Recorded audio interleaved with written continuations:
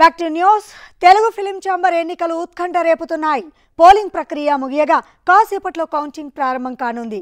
Producer సెక్టార్లో మొత్తం పదిహేను వందల అరవై ఏడు ఓట్లుండగా ఎనిమిది వందల తొంభై ఒకటి పోలయ్యాయి డిస్ట్రిబ్యూషన్ సెక్టార్లో మొత్తం ఐదు వందల తొంభై ఏడు ఓట్లుండగా మూడు వందల ఎనభై ఓట్లు పోలయ్యాయి స్టూడియో సెక్టార్లో తొంభై ఎనిమిది ఓట్లుండగా అరవై ఎనిమిది పోలయ్యాయి ఆరు గంటల తర్వాత ఫలితాలను ప్రకటించనున్నారు.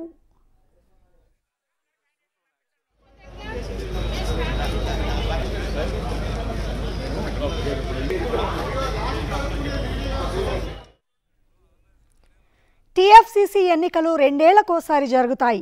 ప్రస్తుత ఎన్నికల్లో నూతన కార్యవర్గాన్ని సభ్యులు ఓటింగ్ ద్వారా ఎన్నుకుంటారు. అధ్యక్ష స్థానానికి నిర్మాతలు దిల్రాజు సి. కళ్యాణ్ పోటీ పడుతున్నారు.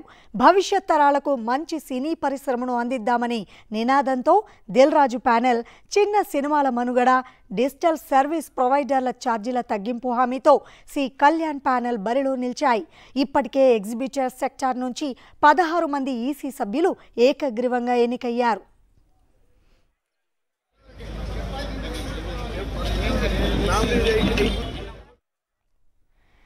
ఫిల్మ్ చాంబర్ ఎన్నికలకు సంబంధించి మరిన్ని అప్డేట్స్ మా ప్రతినిధి కుమార్ ఫోన్ లైన్లో అందిస్తారు. కుమార్ ఫిల్మ్ ఛాంబర్స్ ఎన్నికల్లో పోటా పోటీ ఏ విధంగా ఉంది? అక్కడ టాక్ ఏంటి?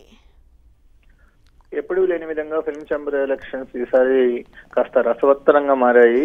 దాదాపుగా పద్నాలుగు వందల ఓట్లు పోలయ్యాయి. ఇది రికార్డు స్థాయి అని సినిమా ప- పరిశ్రమ పెద్దలు చెప్పడం జరుగుతుంది.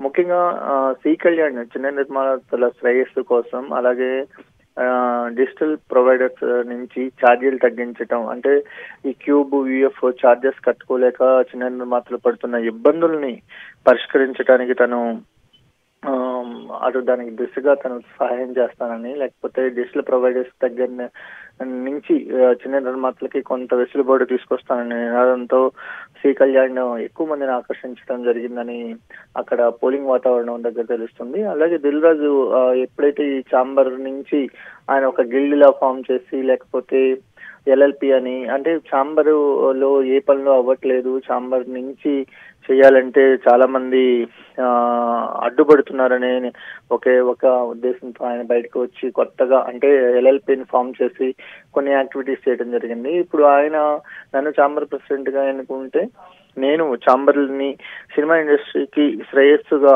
సినిమా ఇండస్ట్రీని మరింత మెరుగ్గా చేసేందుకు చాంబర్ నుంచి పనిచేస్తానని హామీలు ఇవ్వడం జరిగింది. కొత్తగా అంటే యాక్టివ్ గ్రూప్స్ ఉండే నిర్మాతలు తెలుగు సినిమా ఇండస్ట్రీలో ఎక్కువ సినిమాలు చేస్తున్న వాళ్ళు ఎక్కువగా ఇప్పుడు యాక్టివ్గా ఉన్న నిర్మాతలందరూ దిల్రాజ్ ప్యానల్స్లో కనిపించడం జరుగుతుంది. సూర్యదేవర నాగవంశీ మైత్రి మూవీస్ రవిశంకర్ లేకపోతే people's media factory Vivek Kuchibhotla వీళ్ళంతా కూడా దిల్లాజ్ ప్యానెల్లో కనిపించడం జరుగుతుంది. అలాగే వీటి పెద్ద సినిమాలతో పాటు చిన్న సినిమాల శ్రేయస్సుని అలాగే కొత్తగా వచ్చే వాళ్ళని స్టార్ వాల్యూస్ లేకుండా సినిమాలు చేసే వాళ్ళ శ్రేయస్సుని కూడా దృష్టిలో పెట్టుకోవాలి కాబట్టి ఆ నినాదంతో శ్రీ కళ్యాణ్ ఎక్కువగా అట్రాక్ట్ చేయడం జరిగింది.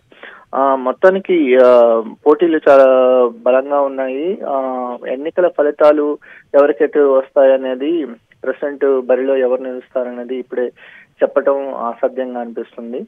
ఎన్నికల వాతావరణం అయితే వేడిగా కనిపిస్తుంది. ఆరు గంటల తర్వాత ఆరు నుంచి సాయంత్రం ఏడు లోపు ఫలితాలు ఆ, వెలువడే అవకాశాలు కనిపిస్తున్నాయి రేచు థ్యాంక్ యూ కుమార్